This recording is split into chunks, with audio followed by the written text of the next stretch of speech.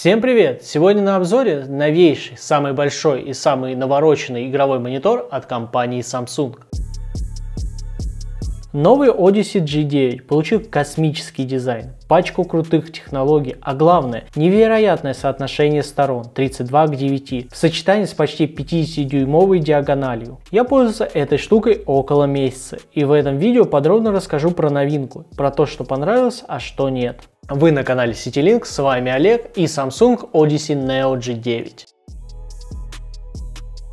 Я давно пользуюсь ультра-wide мониторами. Сначала это была 20-дюймовая модель с соотношением сторон 21 на 9, потом 34, но они не идут ни в какое сравнение с этим гигантом. Хотите наглядно представить его размер? Возьмите два 27-дюймовых монитора со стандартным соотношением 16 на 9 и поставьте их рядом. Таким образом мы получаем огромный монитор диагональю 49 дюймов и соотношением сторон 32 к 9. Кроме диагонали и формата, стоит обратить внимание на его изгиб. Радиус кривизны кривизны 1000R. Это ощутимо больше, чем 1500R, который встречается в большинстве изогнутых мониторов на рынке. И это очень сильно бросается в глаза. Odyssey Neo G9 буквально обтекает вас, когда вы сидите за ним. И это очень чувствуется в таких играх, как Киберпанк. В отличие от Smart Monitor M7 с нашего прошлого обзора, экран нового Odyssey можно регулировать по углу, наклону и высоте. Я смог с комфортом разместиться на своем столе, повернув нужное положение и настроив его по высоте. На тыльной стороне монитора находится один DisplayPort версии 1.4 и два HDMI версии 2.1. Имеется также аудиоразъем и USB Hub 3.0 с двумя разъемами. А также вы можете снять ножку монитора и повесить его на шарнир. Для этого предусмотрено веса крепления 100 на 100. От обычного Odyssey G9 новому Neo досталась RGB подсветка шарнира Infinity Core. Она может работать как в статичном режиме, светясь каким-то одним цветом, так и переливаясь с различными эффектами. Радуга, вспышка, двойная вспышка и дыхание.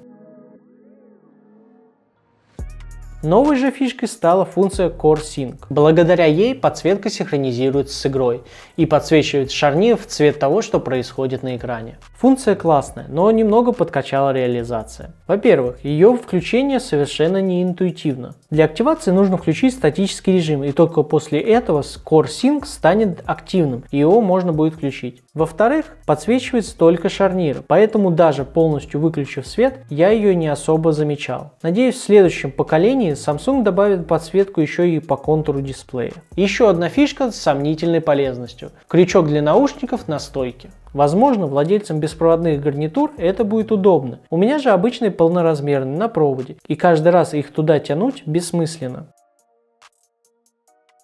Про экран скажу просто. Лучший из тех, какими я успел попользоваться. Тут установка QLED матрица 49 дюйма с разрешением DQHD 5120 на 1440, что эквивалентно двум QHD мониторам. В конструкции дисплея нового монитора используется технология квантовых точек и подсветки на базе мини-LED. В промо-материалах эти технологии называются Quantum Matrix и Quantum Mini LED. Благодаря этому улучшилась цветопередача, повысилась контрастность и яркость. Как итог, максимальная яркость до достигает 2000 кандел, а цветовой охват 125 sRGB. Субъективно картинка выглядит невероятно, сочно, насыщенно, ярко. Особенно это было заметно после того, как я перешел на новый Odyssey со своего прошлого монитора Xiaomi Mi Surface Display 34. Хотя в своей ценовой категории он тоже считается вполне неплохим решением и более того построен на матрице производства Samsung. Что в работе, что в повседневном использовании, что в играх, новинка на голову превосходит мой монитор.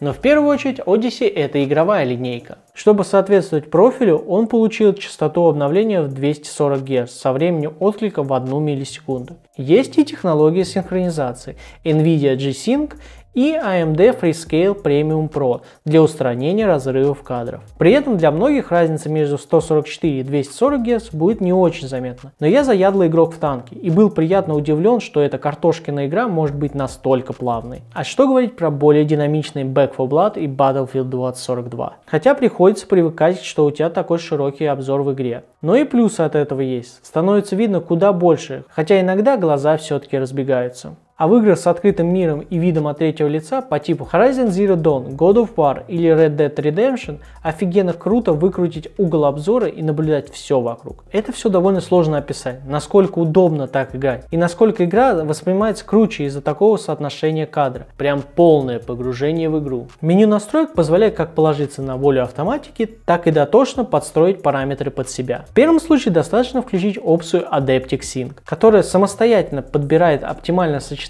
частоты и времени отклика. Можно заняться и ручной настройкой, уменьшить задержку, менять герцовку, изменять время отклика. Имеется даже эквалайзер черного цвета, где вы можете изменить его глубину. Можно схитрить и в шутерах без прицела сделать его виртуальную версию. Есть и настройка режимов изображения. По стандарту установлен режим пользовательский, и на всех режимах выставлена яркость в 11 единиц, что довольно странно и в то же время понятно. Мы имеем пиковую яркость 2000 кандел, что очень много, то есть даже если мне светит солнце на экран, я все прекрасно вижу. В то же время, когда наступает ночь и на экране появляется что-то белое, то это прям как флешка в КС. Слепит на раз. Я маслину поймал. Поэтому пришлось снизить яркость до 60 единиц. А когда записывал видео, где он был на фоне, вообще скидывал до 40 единиц. Из тех режимов я выбрал sRGB. На 60 единицах яркости он мне показался самым оптимальным из всех. Но можно выбрать из других пресетов. Высокая яркость, FPS, RTS, ролевые игры, AOS,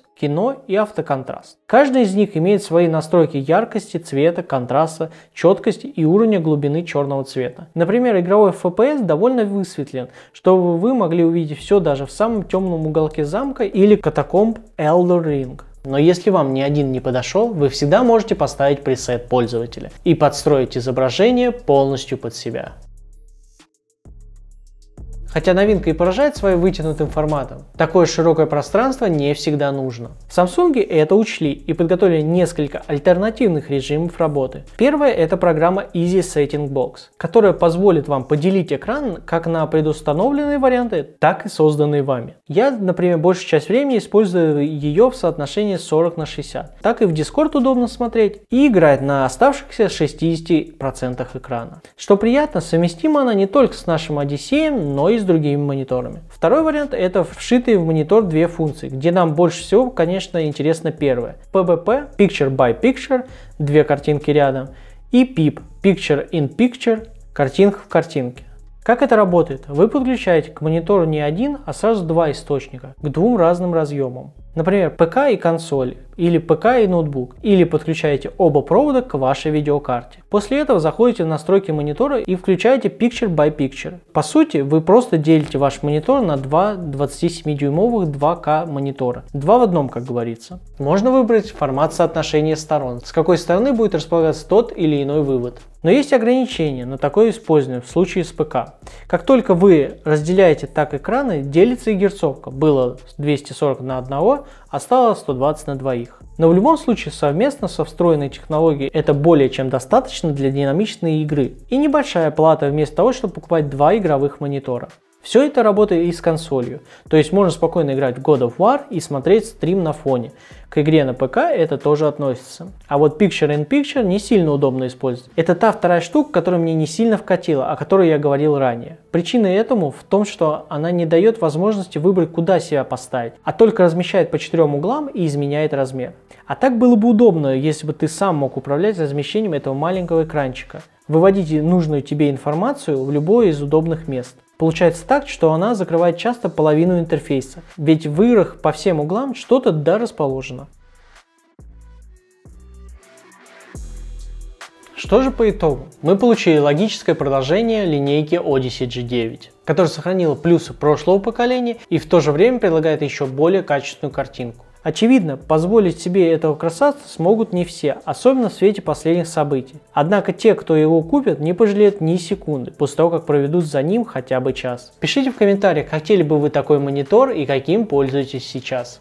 Не забывайте подписываться на канал, чтобы не пропустить новое видео. Спасибо за просмотр и пока!